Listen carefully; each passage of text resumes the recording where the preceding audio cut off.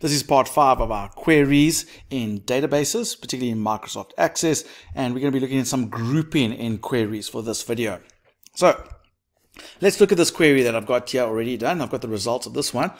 And here you can see there is a married field that we, that we put in our, our uh, query. There you can see it's married, and you can actually see we are going to group it by the married field. We only have two marrieds there, whether they are married or whether they're not.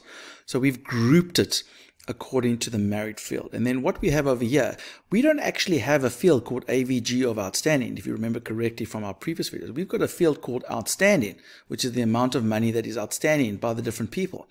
So what's this AVG of? Well, this is the average of the outstanding field for each group. So this is like an aggregate field. So we're finding like a summary of the outstanding field, but based on each particular grouping. So there you can see the 768 value is basically telling me that's the average amount outstanding by all the groups that are married. And then the bottom value, the 802, is all the amount or the average amount outstanding by the people that are not married. So that's how we can create statistics or like basically groupings and we can group data together and get statistics on those different groupings. Here's another grouping that we can look at. And in this case, you can see that there is a division. So we've got the different divisions, A, B, and C.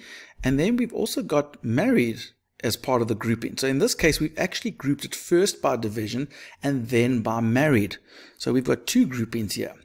And then over here, I've got the paid field in an aggregate form. So, but I've got it twice because the one scenario is to find the min of paid and the other one's to find the max. So basically, I want to find the min and max paid for each group. So how much is the lowest amount paid and how much is the most paid, but for each group. Now, when I mean by group, because I've grouped it by two things, you'll see like over here, we have all the division A's that are married and all the division A's that are not married. So there you can see the, the minimum amount paid and the maximum amount paid by the A's that are married and the A's that are not married. And then we have the, the minimum amount paid and the maximum amount paid by the B's that are married and the B's that are not married. And so there we go. So we've grouped it by multiple groupings here. And we found an aggregate field on the same field, but different stats on that same field. So how do we do this in a query?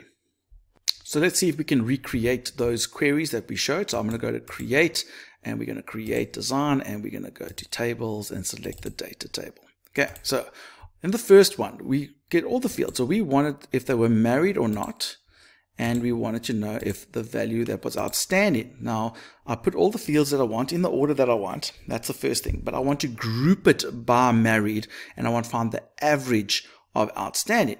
Now, in order to do that, I'm going to come up here to totals. Do you see there's little totals over here, the little sum symbol? If I click on that, I want you to notice the options here, field, table, sort, show, criteria, or. Just look at those, those options.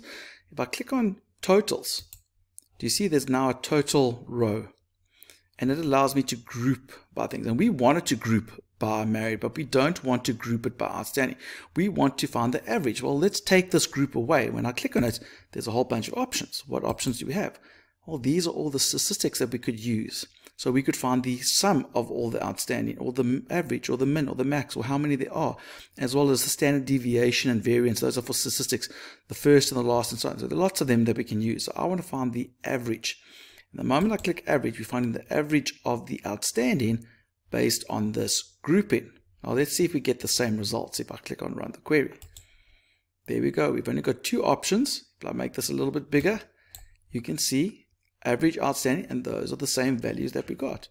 Maybe we wanted to find the average outstanding for the different divisions. Then all I would do is go back to my design view and I would say, hey, we want to group it not by married, but by division. So in this case, we, if we run the query, we can see the average outstanding for the division A's is that amount, the average outstanding for division B's is that amount, and the average amount outstanding for division C's is that amount. So that's how we can group data that is similar and find statistics on each of those groupings. So let's go recreate that other one where we did division and then I would go and say if they were married and I want this to also be grouped so I'm going to keep it grouped and then I want to have the paid twice. Why do I want to do paid twice? Well, because I want to find two, two stats on the paid field. The first stat, the total, I'm going to change the grouping. I want to find the min amount paid and I want to find the max amount paid for each grouping. So if I run that query, there you can see division A married, that's the min paid and the max paid. For the A's that are not married, that's the min paid and the max paid, and so on and so on. So that's how you can create a grouping. So just to recap, you would struggle to see the option there. You must click on totals because if it's not there, you can't see it. You click on totals, and that's where you get this total row. And then you can specify what you are grouping by, and then which fields you want to find stats are. You change the group by to the stat that you want. Remember, you must probably save this. Save the query, QRY groupings. There we go. New query saved. For more videos on Access and in this video series, go to our YouTube channel, click on the subscribe, click on the like button. We'd really appreciate all the support. Leave a comment. And remember, don't do it the long way. Do it the Mr. Long way.